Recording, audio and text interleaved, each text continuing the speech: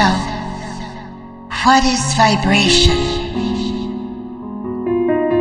How do we hone our senses to perceive?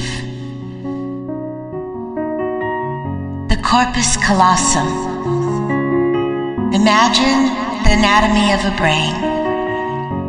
The center section that looks like the letter C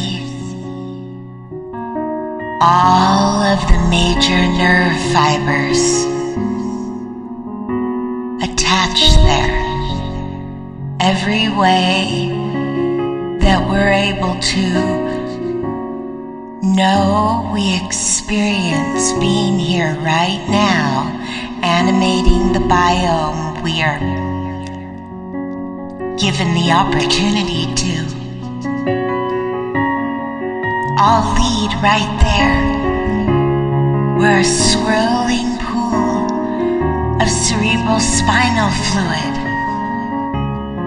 It's the fluid, y'all.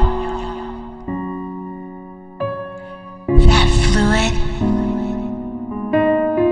changes immediately to light, to sound we experience in the fluid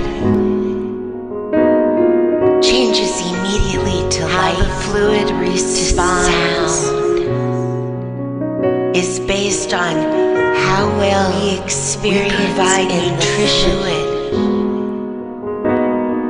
to the biome. How the fluid responds.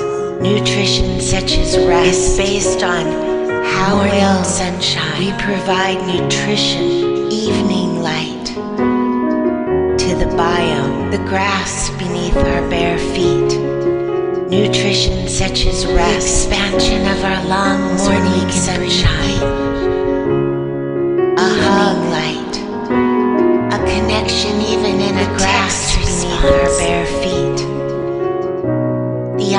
to expansion of our lungs unabashedly alive. A hug, feeling every moment, A connection actually a as text response. as our opportunities allow the opportunity to glow But most unabashedly alive, listening, feeling every moment, Listening in the way you never have before, listening through your teeth. as our opportunities listening allow, through your skin.